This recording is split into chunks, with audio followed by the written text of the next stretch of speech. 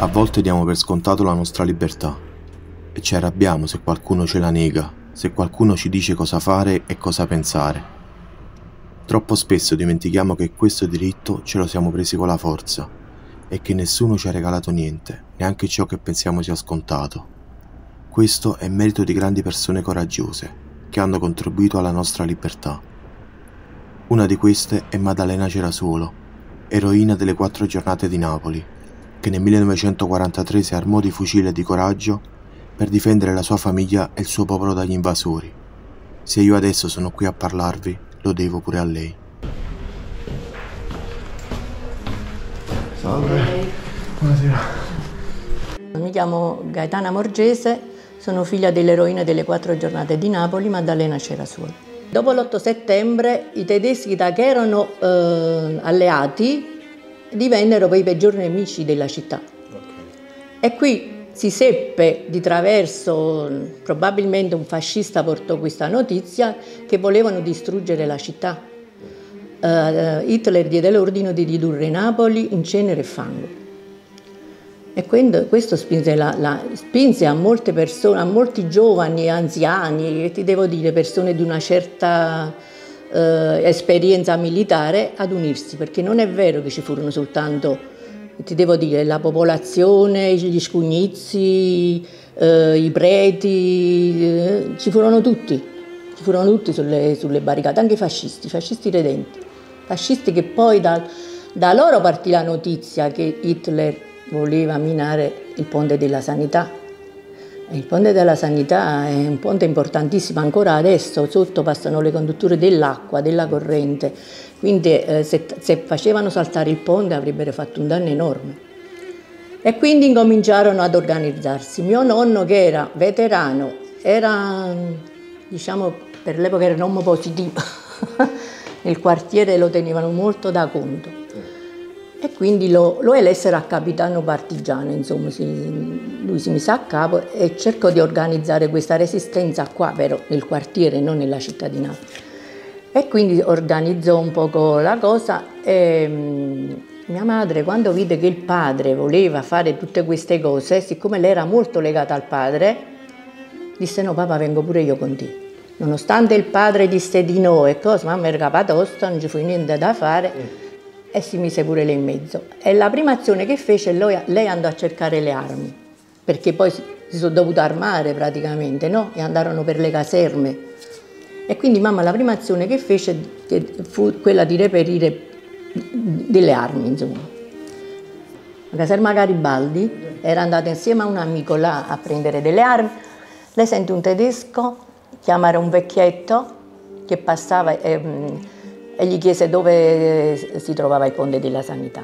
E mamma allora capì subito, corse a dare la notizia e infatti poi quando sono arrivati eh, i tedeschi a minare il ponte si trovavano già, i partigiani si trovavano già sul ponte appostati.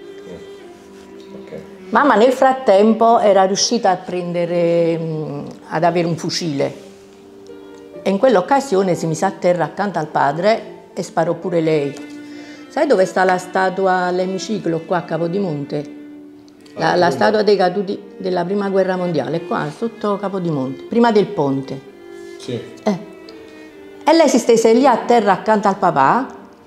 I giardinetti. Ai giardinetti, bravo. E sparò. Il maresciallo eh, le disse, Nene, ma tu non mi sti vuoi qua, tu vieni a cercare le armi. L'ha presa in giro. E lei disse, ma perché? Madre? 23 anni disse Marescia ma perché scusatemi perché non posso partecipare? Se ero uomo. Dice no ma quando mai? Poi la guarda in faccia e disse senti ma tu vuoi fare una cosa? Vuoi tentare questa cosa? Perché i tedeschi si sono asserragliati a Vicotrone in una fabbrica di scarpe. Te lo dico in dialetto va forse viene meglio. E lei disse e beh che devo fare? Devi portare la resa.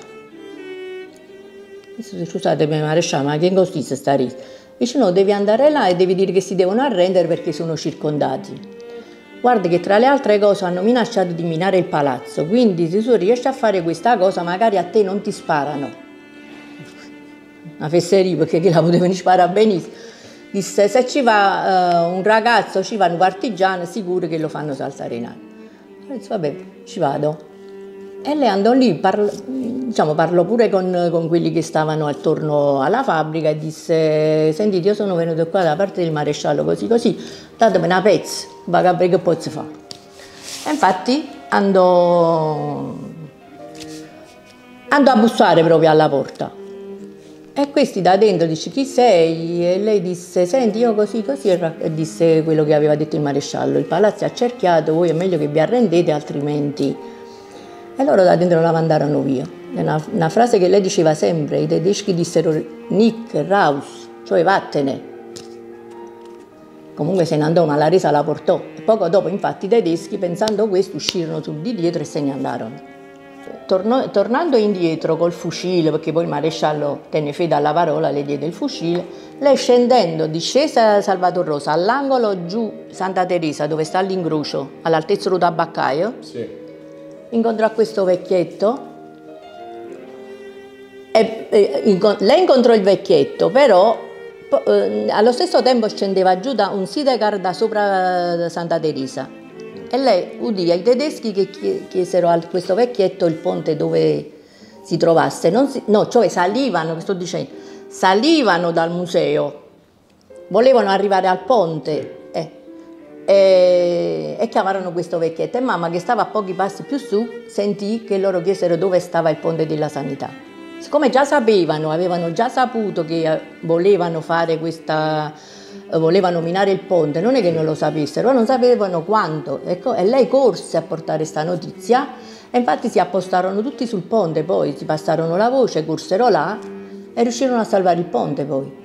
Ponte, eh, era ed è un ponte molto importante. Pensa che tu collega tutto il nord di Napoli questo ponte, perché se non ci fosse come si fa? Se sai bacia sanità, se... adesso diciamo che è accessibile perché le stradine ci sono, ma all'epoca no. Ma fu proprio, guarda, per poco, se mamma non si fosse trovata là, il ponte saltava, perché stato. già era stato minato, capito? E la situazione è stata così importante che poi hanno, le hanno intitolato il ponte della sanità certo. che adesso si chiama Ponte Maddalena Cerasuolo. Certo, è tutto merito, questo lo devo dire, di Francesco Ruotolo. Volevano intitolare una strada e invece proprio Ruotolo diceva no, dici, scusami, questo ponte in effetti non c'ha un nome. Cosa ha provato quando quel giorno è andata Vabbè, là? Indubbiamente emozione sicuramente, molta emozione, ma mi sentivo anche, anche contenta perché avevo, ero stata partecipe di quella cosa insieme a lui, perché lui aveva raccolto le firme, ma se non ci stava questo libricino qua che andava in mano... Sì, sì, sì. Famosa la vicenda magari non sarebbe... Sì, perché poi da questo libro qua, diciamo, sono nate tante cose. l'intitolazione del libro, è nata una pista teatrale, persone che ogni tanto vengono, vedete, compresi, perché mamma prima si parlava, ma non come adesso. Non come adesso. Ok. Lei come, quando vi parlava di queste vicende? Chi, era, mamma? Sì, ne parlava liberamente oppure era restia? Allora, delle quattro giornate mia mamma parlava continuamente, tanto è vero che diciamo sempre mangiavamo pane e quattro giornate. Dopo le quattro giornate eh, fu convocata proprio dai servizi segreti inglesi qua e le dissero se voleva ancora continuare. Entrò nei, nei, nei servizi segreti lei, andò a chiedere al padre, il padre le disse soltanto vedi tu, però to, vattene e torna come sei andata, cioè non cambiare, non fare niente di... E lei disse, babbo lo voglio fare perché? In famiglia ci fu una morte, te l'ho detto, questo ragazzino eh, Naro Capuzzo che era il cugino di mamma. Sì. In realtà in quel periodo vivevano anche insieme nella stessa casa perché sai la guerra, questo e quell'altro.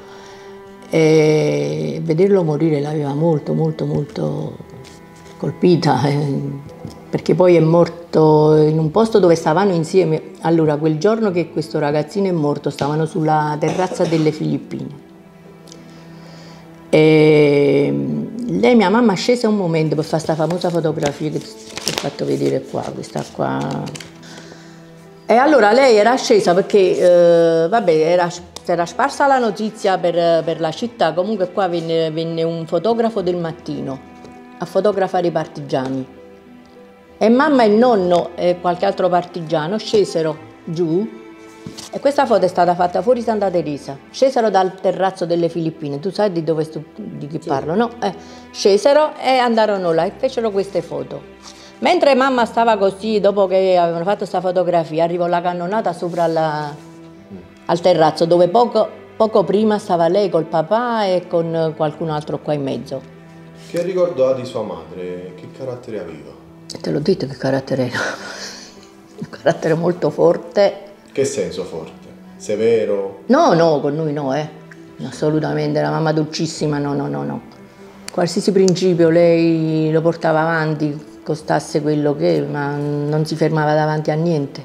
Cioè, io quello che mi chiedo è una persona che ha fatto queste cose, mm. che comunque è anche un'eroina per la sua città, che aveva anche la responsabilità di eh, questo ruolo, che ha visto e vissuto tante cose, che carattere aveva nella sua intimità, in famiglia? Questo mi chiedo. Tieni presente una leonessa quando fai i leoni piccoli.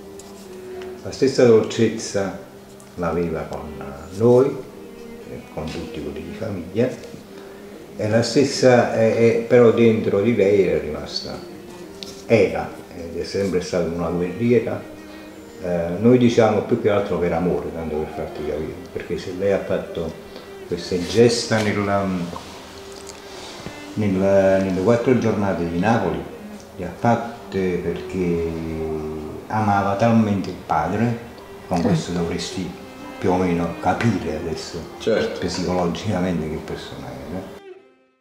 Io non avevo un'arma. Cioè, dico, come faccio? Papà aveva una rivoltella, quella là, che si mettono i proiettili, come si chiama? Dentro quella rotella. Eh.